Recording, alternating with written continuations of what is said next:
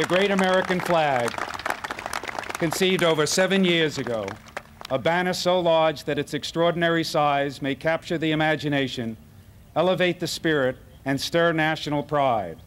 A banner made large enough so that all Americans may recognize their part in this flag, every American flag, and the republic for which they stand. This banner is hereby made a gift of the people to the people, so that today and in years to come, we may see in this, this great flag the greatness that is inherent in this nation. On this Flag Day, the 14th of June, 1983, the Great American Flag Fund Incorporated, by virtue of this document, transfers and assigns the Great American Flag to the United States of America.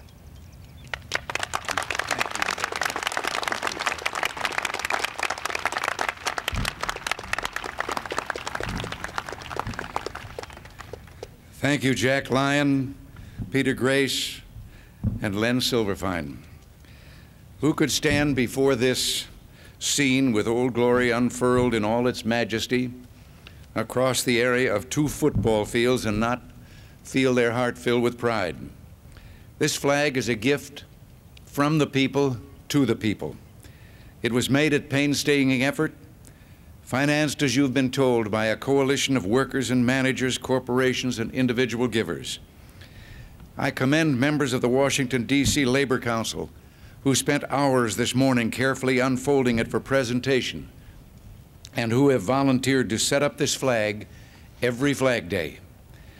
This giant flag is a testament to the unity and patriotism of our people and to the deep love and commitment we have for our country, our freedom, and our way of life. I'm reminded of a verse that I once read, written as if the flag were speaking to us now and for generations to come. It said, I am whatever you make me, nothing more. I am your belief in yourself, your dream of what a people may become. I am the day's work of the weakest man and the largest dream of the most daring. I am the clutch of an idea and the reasoned purpose of resolution. I am no more than you believe me to be, and I am all that you believe I can be. I am whatever you make me, nothing more. If you look out at that grand flag stretched behind us, you can see what we think of ourselves, our country, and our future.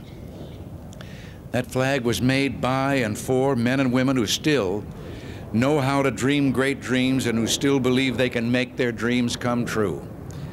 That giant banner was not created by a timid nation, but by a bold one.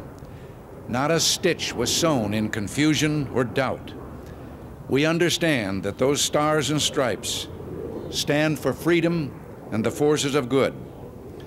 We apologize to none for our ideals or our principles nor the prosperity that we've made for ourselves and shared with the world. Let this grand flag forever be a symbol of the potential before us, that free men and women can soar as high as their dreams and energy and ambitions will take them. On behalf of all Americans, I would like to thank the Great American Flag Fund and all the men and women who've made this inspiring gift possible. I promise you, your government will keep it and treasure it and use it as a reminder of the greatness that is America. And now, if you will all join me, I would like to lead you in the Pledge of Allegiance.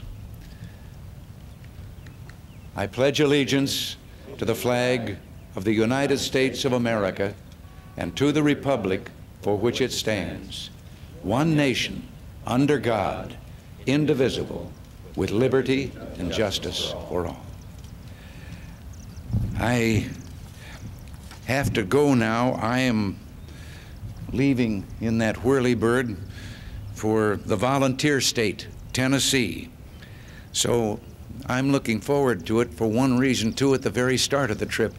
I will get to see that magnificent flag from above, from the air. Thank you all very much. God bless you.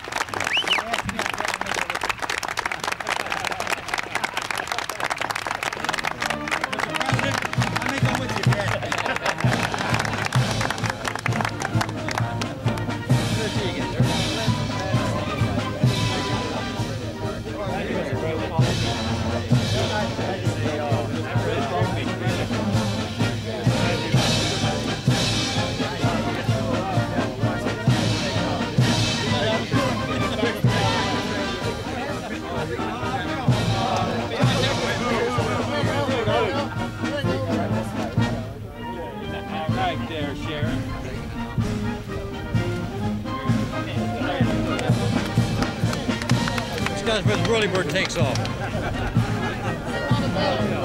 Mr. Silverfine. Okay, let's get out of here.